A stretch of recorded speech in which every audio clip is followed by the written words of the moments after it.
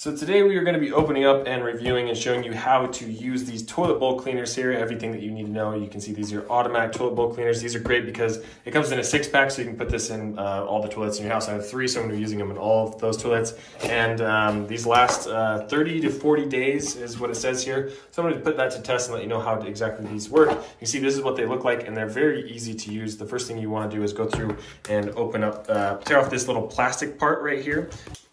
So we're just gonna go through and peel this off here.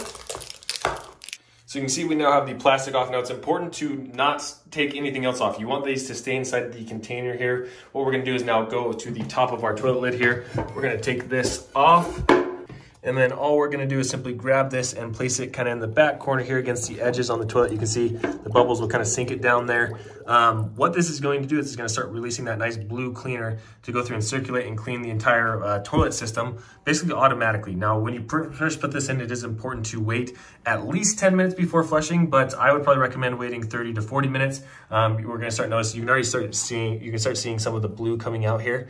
Um, so we'll come back here in, you know, maybe 20 or so minutes and see what this looks looks like and give this thing a test.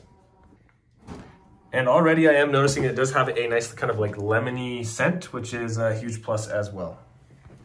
Okay, so you can see it's been about uh, 20 minutes or so, so we have some of the blue stuff inside of here, so we're gonna go through and now flush the toilet. And you can see it's going to then go through and flush this blue, keeping the toilet nice and clean, uh, which is pretty awesome.